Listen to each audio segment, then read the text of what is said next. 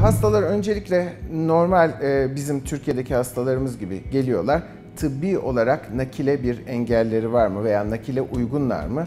Bu süreç gerçekleştirildikten sonra e, hastalardan çeşitli e, UHM'nin belirlemiş olduğu belgeler isteniyor. Bu belgelerin toplanması dönem sonrasında eğer biraz önce söylediğim gibi dördüncü dereceye kadar akraba iseler hemen e, hazırlıklarını yapıp nakillerini başlayabiliyoruz. Eğer bundan daha uzak akraba veya akraba dışı kişilerse donör, etik kurula belgelerini hazırlayıp dosyasını gönderiyoruz. Ayda bir ya da iki kez toplanıyor Sağlık Bakanlığı Etik Komisyon.